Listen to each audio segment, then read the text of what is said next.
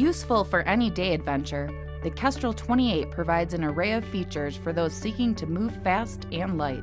At 28 liters or 1700 cubic inches, it is the smallest pack in the Kestrel series with simple top load access. Features include a fixed top pocket with gear loops and a single access zippered compartment, under lid zippered mesh pocket, integrated rain cover, airscape back panel with torso adjustable harness, stretch woven front and side pockets, reversible straight jacket compression system, ergo pull hip belt with webbing strap retention, stow on the go trekking pole attachment system, dual ice axe loops, and an external hydration compartment.